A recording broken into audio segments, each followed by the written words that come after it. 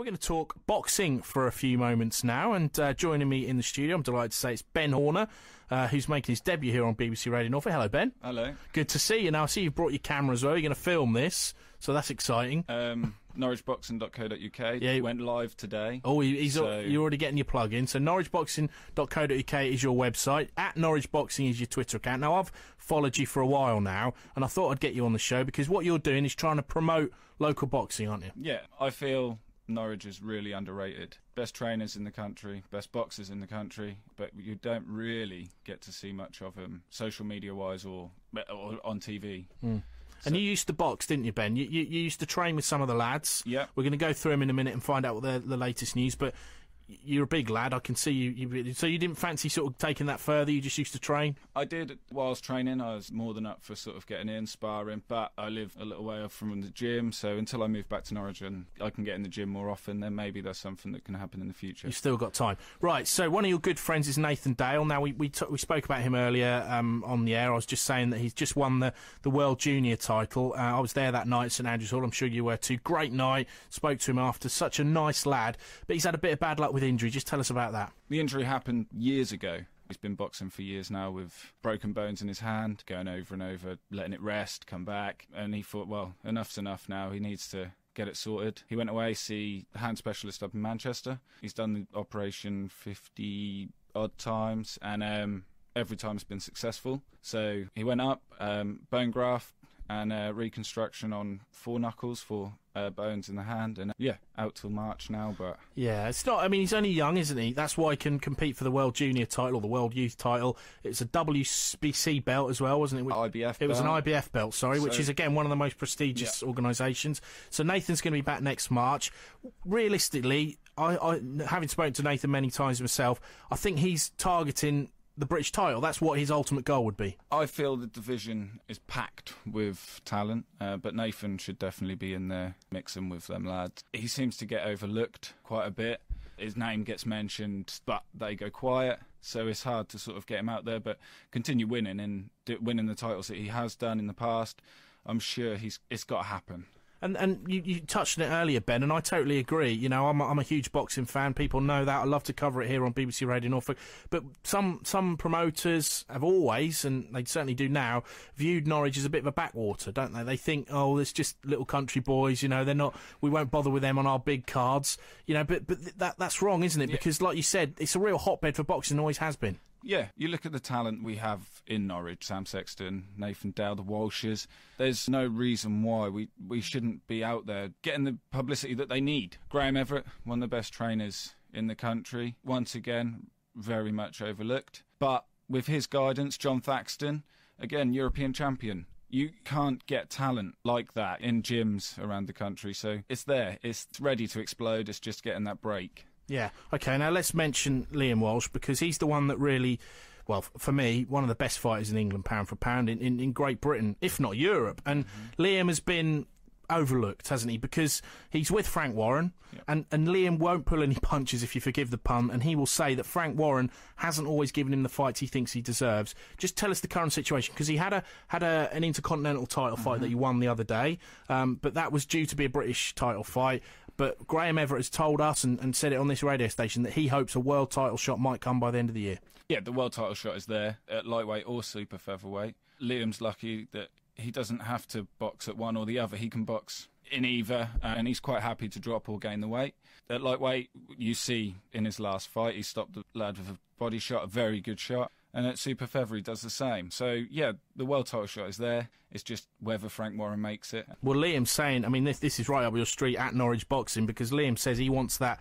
If he in his wildest dreams wants that fight in Norwich. I mean, let's talk about it. Liam Walsh, Ryan Walsh. We'll talk about him in a minute. Michael Walsh. Anthony Ogogo, Sam Sexton, Nathan Dale, all these great local boxers put that on at Carrow Road in, I don't know, the end of September, bit of tarpaulin, nice warm weather. It would sell, wouldn't it? You'd get 10,000 there, surely. September would be too soon. We'll be looking August next year, in my opinion. Ryan Walsh is fight. Well, well, hopefully will go out and win the British title in September. So you've got the world title with Liam, British title with Ryan, Sam Sexton, Anthony Ogogo. Like you said, all the lads are there. Warren could bring a few of his in. So yeah, like you said, there's no reason why we won't be able to at least fill Carrow Road. In the studio with me at the minute is Ben Horner. Uh, we've been talking boxing. He's uh, the purveyor of at Norwich Boxing, which is a, a, a well fairly new Twitter uh, handle that he's using to give you all the news on local Norwich boxers. He's uh, very friendly with a lot of those local boxers. Spends some time at the Kickstop Gym with Graham Everett and the boys. So a little bit of an inside track from him. Uh, we've already talked about Nathan Dale, the uh, young world junior champion who's out injured till next year. we also touched on Liam Walsh as well, who's arguably well I would say one of Norfolk's greatest ever boxers. I mean, he's based in Cromer. He's born up in uh, Rochdale, but came down to Norwich as a youngster with his brothers. And he really could be, you know, we're talking the realms of Ginger Sadd and various other big names that Norwich City, uh, that Norwich have had over the years um, in, in, in the boxing terms. And you know, Liam's up there with them, isn't yeah. he? Really is going to be a big star. Yeah, you can't you can't buy talent like what Liam's got. You watch him as body shots are unbelievable. He mixes head to body, just everything timing, speed, power you watch him and it's a dream to be anywhere near his ability. So a world title shot has got to come. I think I just said Joe Bugner, didn't I, about Norwich boxers? I meant uh, Joe Beckett. You know, well. I'm getting me getting me names. Joe Bugner, of course, was the heavyweight. He was sort of British slash Australian, but we're going way too back, far back for you there, Ben. You're, yeah. you're, just talking about the current. Right. Let's talk about Sam Sexton. Now, Sam's a big name. Sam mm-hmm. is a big name in, in, in the region. A well-known heavyweight fighter. He's had some big fights in his time. He's been out quite a while though, hasn't yes. he? We haven't really seen Sam for a very long time now. His last fight was against Larry Odobabweng. The War Machine. Yes, yeah, let's call him the War Machine. yeah. We'll do it with that. Dealt with him easily, and once Sam's back in the swing of things, uh, the rust is gone. He will be mixing at top level in Britain again. There's no reason why he can't. It's just injuries that is setting back a little. So hopefully they're behind him now, and uh, we'll see the best of Sam. And he's back when? Tell us. He's back Friday the 18th in the halls in Norwich. Used to be St Andrew's Hall. All the boxers got their tickets today, so tickets are available. It's going to be one of the biggest boxing events Norwich has held for a long while. Yeah, I mean, I, have I've experienced live fighting there. You know, live fights there where, where, we saw Nathan Dale. You know, it's a brilliant venue. It really is. A br- Lots of people have been to St Andrews Hall, as the halls, as you say, as it's known now. Fantastic venue. They've done everything there, haven't they, over the years? Yeah. But it really works for boxing, doesn't it? It holds the atmosphere. You get the best view. There's brilliant seating. There's tiered seating. You've got your standing. There's it's just altogether a brilliant venue. Mm. Um, the best we have in Norwich. And Big Sam, I'm right in saying think he's 28, 29? Yeah. Not um, even 30 no, yet? Or is he 30? Could be pushing 30. Getting on for 30, yeah. but, you know, Sam, that's young, isn't it? Yeah, As a heavyweight, that is young. So, all right, Sam's had bad luck with injuries. He's got his other business ventures going as well. But there's every opportunity that Sam can get in that mix. And, you know, let, let's, let's, let's, let's, you know, be a little bit hypothetical here. But if Tyson Fury does the impossible, takes mm-hmm. the title off Klitschko. He's going to want to come back here and defend it. By that time, Sam might have put himself in a, a, a ranking position, and you never know. No, you, and Sam could, could beat Tyson Fury. He's the sort of person he could beat. You never know. Um, the voluntary defences is something that people like to do when they come back into their own country. So why not? Um, Sam's been in there with some of the best in Britain. Commonwealth title holder, uh, fought for British title, prize fighter winner. So he's been there, done it. So yeah, the, the opportunity could arise. So hopefully for Sam, it'll, it'll, be a massive event for him. Yeah, we'd love that, wouldn't we? Because he's a great guy, Sam, and of course he's got a, a cafe as well, KO Diner as well, hasn't he? Which uh, I love that. I mean, we've done it here on BBC Radio Norfolk. He's got a, you know, a, well, I wouldn't call it a greasy spoon. That's no. selling it down, but it certainly does do good breakfast. I can I can vouch for that. Anthony Ogogo, let's talk about him now. I love Anthony. He's a great guy to talk to. He's so friendly, and he'll he'll give you the, the best interviews you've ever had.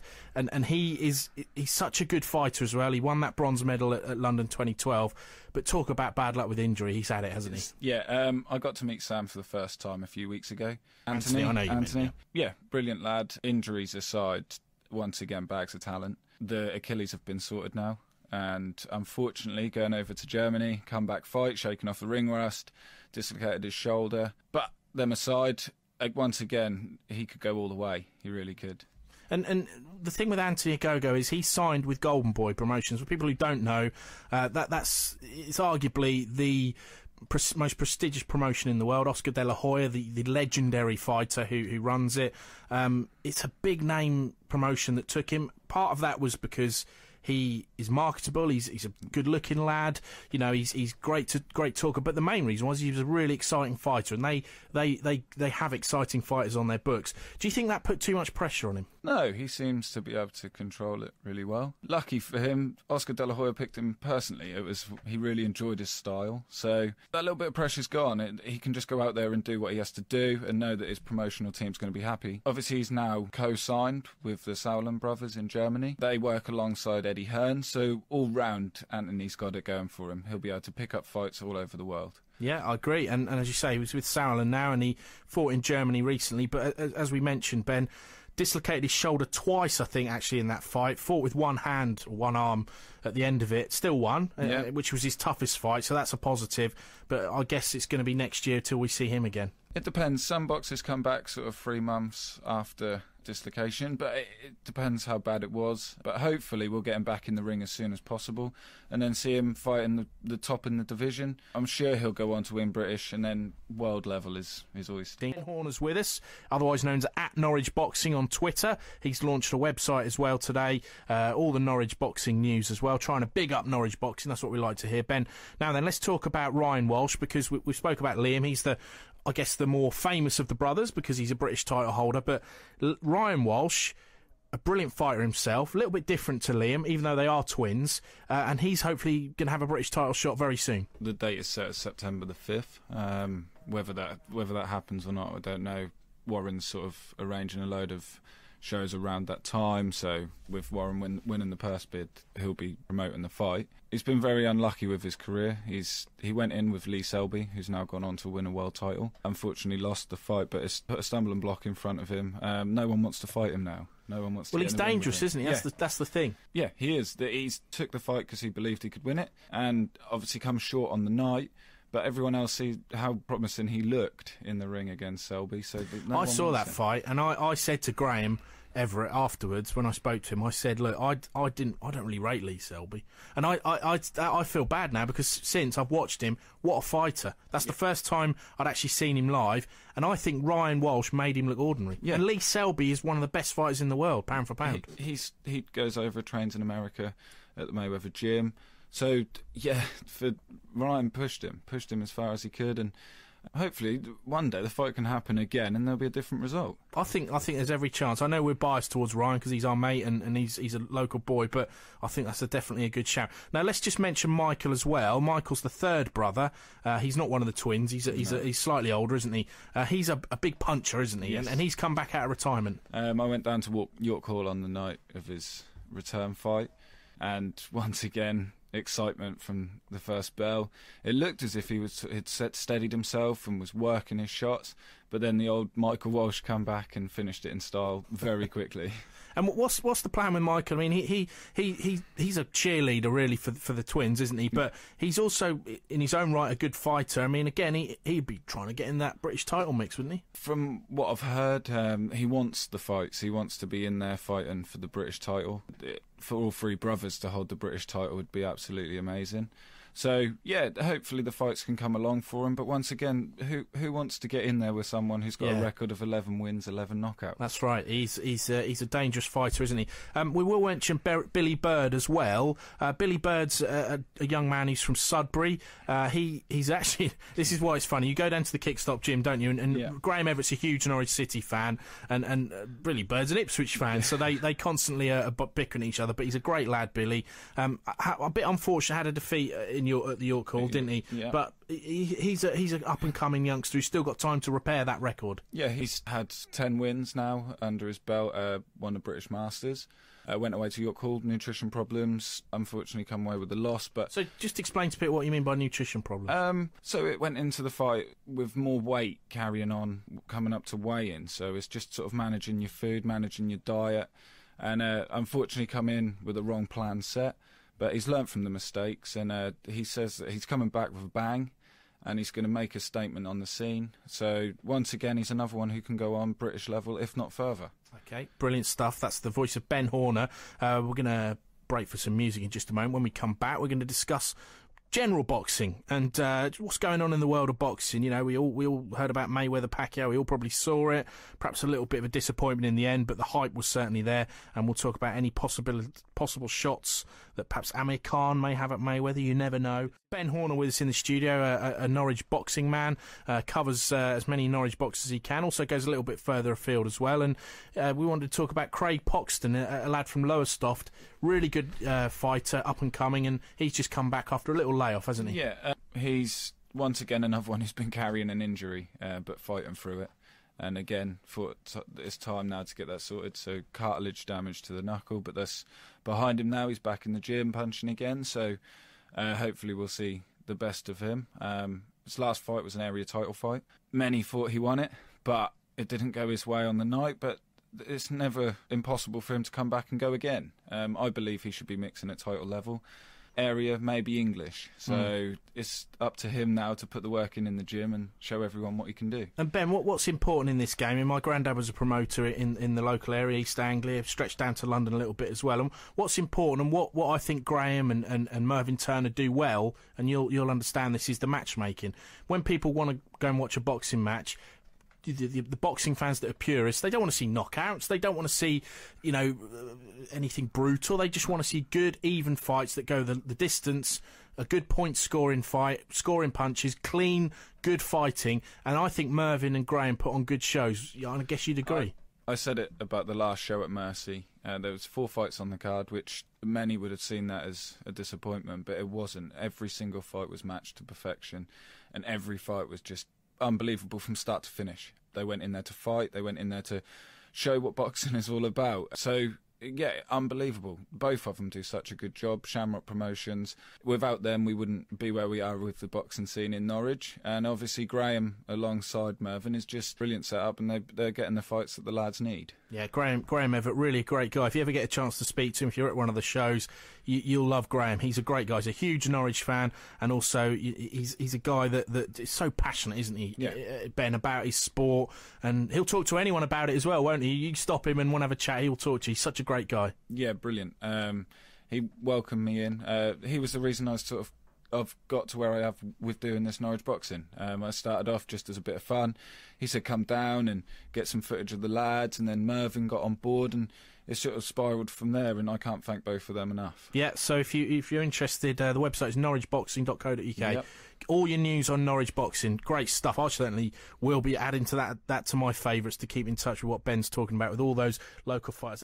Ben Horner's with me. He's a, a boxing man, a, a, a reporter, and a, journalist who's been talking about boxing. And he has set set up a website and also a Twitter handle, which is at Norwich Boxing. And he's going to, throughout the uh, years, promote Norwich fighters. I noticed on your Twitter, um, Ben, you've got two little green and yellow gloves. I yes. like that. Did you design that, or yeah? Um, um, sort of the web was the website was designed by a friend of mine, and he sort of designed the logo.